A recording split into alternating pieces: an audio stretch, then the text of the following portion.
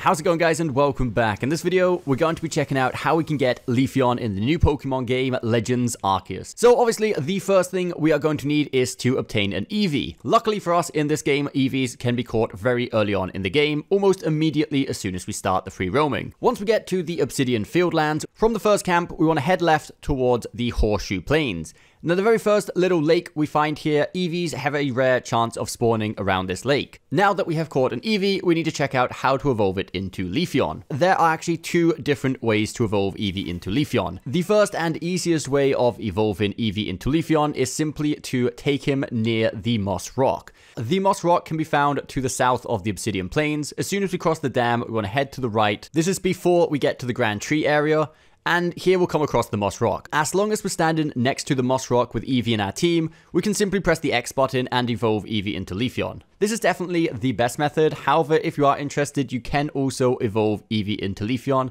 by simply using a Leaf Stone. Leaf Stones can be obtained from the NPC back at the village by exchanging merit points. Merit points, in case you are wondering, are obtained by retrieving the lost satchels which are dropped by other players and NPCs when they faint around the world map. So that is it guys, I hope you did find this video helpful. If you did, don't forget that thumbs up button, subscribe for more content coming very soon, and we'll see you next time.